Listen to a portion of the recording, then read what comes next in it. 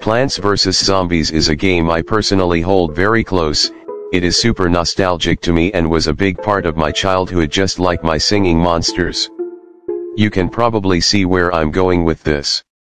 Let's all agree that Potbelly looks like he came straight out of PVZ.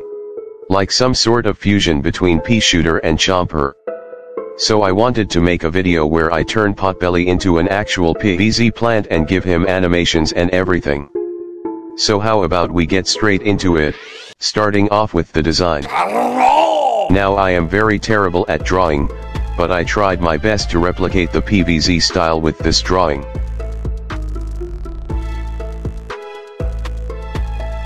I separated each layer so we can animate it later.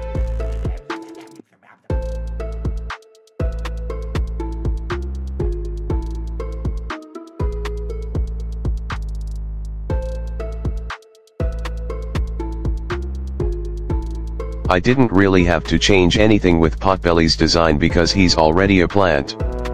However I did make his pot the flower pot from PVZ.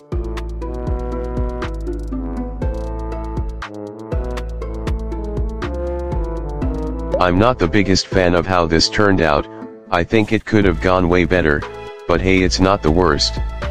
Now let's get to animating. I didn't record any footage of me animating it unfortunately so instead I'll give a visual explanation of what I did. I kept the animation very simple with the idle just being the heads going up and down while opening their mouths. And for the attack animations I made them each bite from one side. Now how would this plant work in game? The potbelly would be similar to Chomper in a way because it is very close range but packs a big punch, however it does not one-shot most zombies like the Chomper, it instead takes a few bites then eats the zombie.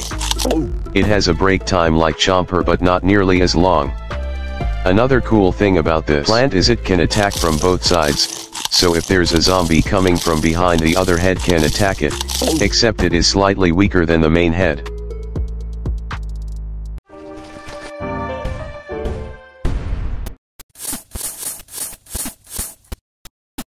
couple, a couple.